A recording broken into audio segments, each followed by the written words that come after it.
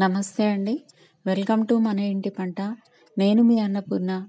ఈరోజు మీకు rose plant గురించి కొన్ని విషయాలు చెప్దామనుకున్నాను. మరీ ముఖ్యంగా ఇందులో ఈ రోజు ప్లాంట్‌లో వచ్చే సక్కర్స్‌ని ఎలా గుర్తుపట్టడం, వాటిని ఎలా కట్ చేయాలి, దానివల్ల మనకు వచ్చే నష్టం ఏంటి అనేది మీతో షేర్ చేస్తాను.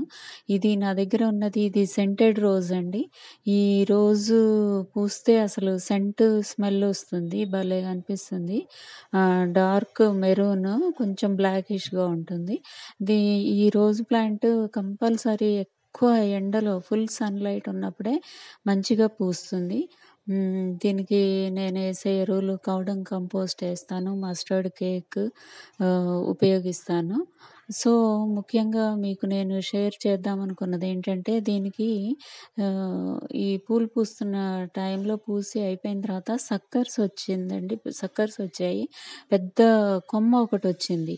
అయితే అది పూలు పూయదు. కానీ మనం అనుకుంటాం మొక్క బాగా ఎదుగుతుంది అని అనుకుంటాం కానీ, దానివల్ల అసలు పూలు పూయదు కాక మనకి మెయిన్ మొక్కకు కూడా డ్యామేజ్ అయ్యే అవకాశం ఉంటుంది. అసలు అది పెరిగి ఈ మెయిన్ మొక్కని చంపే అవకాశం ఉంటుంది. సో, దాన్ని ఎట్టి పరిస్థితుల్లో అనవసరమైన కొమ్మలు ఉంటాయి ఆ కొమ్మల్ని కట్ చేయాలి. ఇప్పుడు మనం పూలు పూసినప్పుడు కూడా వెంటనే ఆ కాడ వరకు మనం కట్ చేసినట్టయితే కొత్త బ్రాంచెస్ వచ్చి మనకు మంచి పూలు పూయడానికి అవకాశం ఉంటుంది. ఇప్పుడు ఇది అంటు కట్టిన దగ్గర కింద వచ్చిందండి ఇది సక్కర్. దీనికిను మామూలు బ్రాంచ్‌కి తేడా ఏంటంటే ఆకులు దీంట్లో ఏడు అలా ఉంటాయి. మామూలు దాంట్లో అయితే ఐదే ఉంటాయండి. మామూలు బ్రాంచ్‌కి పూలు పూసే కొమ్మకి ఉన్న ఆకులు ఐదే ఉంటాయి. మనం కౌంట్ చేసుకోవచ్చు. దీనికి మాత్రం ఇది పూలు పూసే కొమ్మ. దానికి ఏడు వరకు ఉంటాయండి.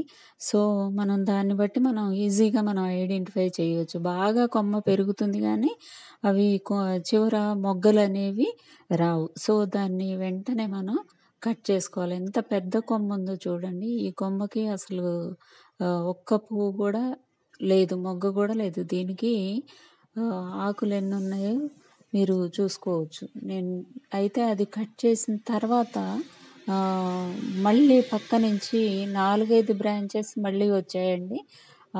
సక్కర్ కట్ చేసిన తర్వాత దీనికి చూడండి 1, 2, 3, 4, 5 6, 7 ఉన్నాయి దీనికి ఆకులు. దీనికేమో ఫైవ్ ఉన్నాయి. చూడండి. సో, ఆ కింద నేను కట్ చేసిన దగ్గర 4, 5 బ్రాంచెస్ మళ్ళీ వచ్చాయి. అవి అనవసరమైన మనం దీనికిచ్చిన ఫుడ్‌ని వాటికి ఉపయోగించుకొని అవి పెరుగుతాయి. మనకి మెయిన్ మొక్క పెరగదు. మనకి పువ్వులు కూడా రావు. సో, దీన్ని మనం ఇమీడియట్గా మనం కట్ చేసేసేయాలి. అది అనవసరం మనకి. హ్మ్. సో, దాన్ని తప్పనిసరిగా కట్ చేసుకున్నట్టయితేనే మనకి ఆహ్, అసలు మొక్క పెరుగుతుందనమాట. సో, ఈ విషయాన్ని గమనించుకొని మనం ఆహ్, ఎక్కడుంటే అవి వాటిని కంపల్సరీ కట్ చేసేయాలి. అప్పుడే మనకి మెయిన్ కొమ్మ మెయిన్ మొక్క పెరుగుతుంది. మనకు మంచి ఫ్లవరింగ్ అనేది వస్తుందన్నమాట ఇలా. సో, ఈ జాగ్రత్తలు మీరు తీసుకుంటారు అనుకుంటున్నాను. ఈ వీడియో మీకు నచ్చినట్టయితే లైక్ చేయండి, షేర్ చేయండి, సబ్స్క్రైబ్ చేయడం మర్చిపోవద్దు. బెల్ ఐకాన్ ప్రెస్ చేసినట్టయితే నా నోటిఫికేషన్స్ మీకు వస్తాయి నా వీడియోస్ ఫస్ట్ టైం చూస్తున్నట్టయితే ప్రీవియస్ వీడియోస్ కూడా ఒకసారి చూడండి. Thank you.